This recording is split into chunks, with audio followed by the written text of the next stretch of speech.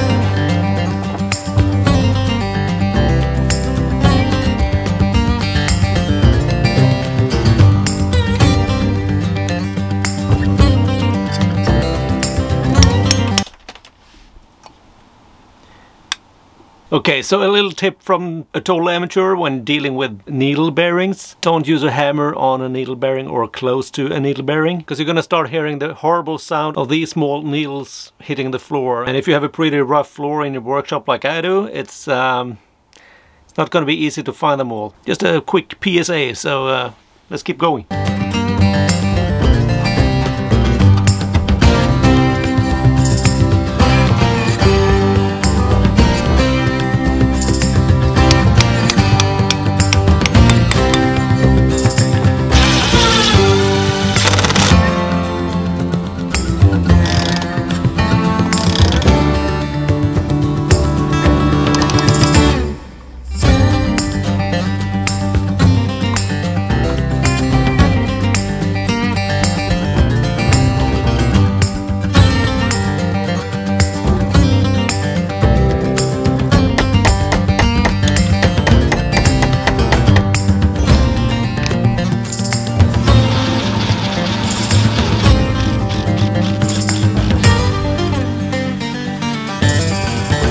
So I think everything is assembled now and the thing that remains is uh, giving this bad boy, whoops, the paint job. I'm also gonna go ahead and repaint the whole case just to give it a nice fresh look. And when I'm done with that, we're gonna assemble everything and see if this weed eater actually works. And by the way, if you have any comments or suggestions what I should change maybe next time I rebuild an engine, feel free to leave a comment below. I'm, uh, I'm all ears for any kind of advice because I'm really new to this and everything helps. So thank you for that.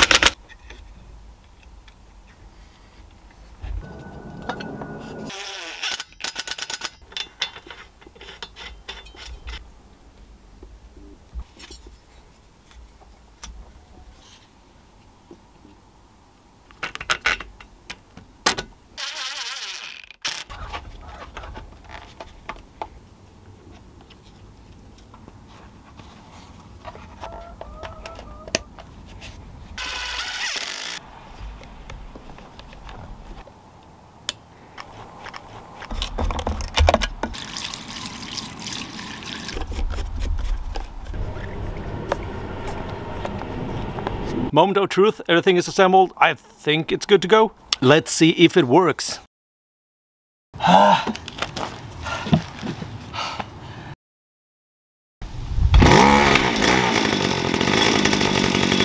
So after a little bit of motor starter and some blood, sweat and tears, I got it running and it runs really smooth. And it's also really easy to start. Check this out. So the moral of this story is basically if I can do it, so can you.